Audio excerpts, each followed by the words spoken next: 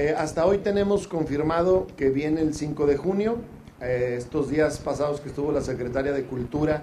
nos comentó que sí, que también ella trae el tema de que el 5 de junio está aquí el presidente. Y lo más, traemos varias cosas, eh, pero traemos dos temas que son muy relevantes para, para nosotros como Estado.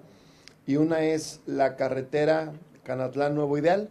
que eso vendría a ayudarnos bastante en toda esa zona y más porque ya va él a inaugurar eh, la carretera Los Herrera Tamazula, que prácticamente entra a Santiago Papasquiaro y nos faltaría el tramo de esta carretera desde Canatlán hasta Santiago, pero en una primera etapa hasta Nuevo Ideal, pues para poder conectar prácticamente Tamazula hasta la, hasta la capital y todos los poblados que cruzan esto para generarles una economía distinta. Y más también por la producción que tienen pues en Nuevo Ideal los menonitas que requieren también ampliarse y no se han podido ampliar a nuevas inversiones esa zona por la carretera tan angosta que, tenemos. Esa sería una. Y dos, el tema de la potabilizadora. Eh, ese tema lo llevamos ya muy avanzado, ya tienen el proyecto, esa sería para Durango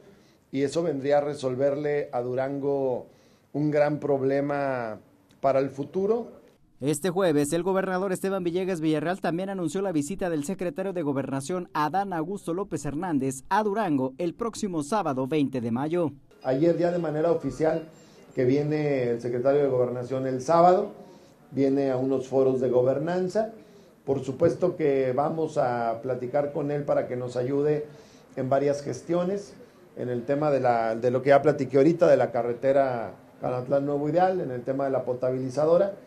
y, en algunos otros temas este, que traemos deudas con el ISTE y cosas así, y, que nos ayude a, quitarnos el veto que tenemos en,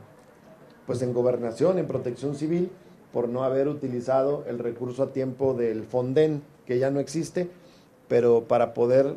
este, cubrir a los, a los campesinos, pues con este fondo, si es que este año llegáramos a tener un problema o de sequía o de exceso de lluvia. Con la imagen y edición de Armando Oropesa, informó para Canal 12 Ever García Hernández.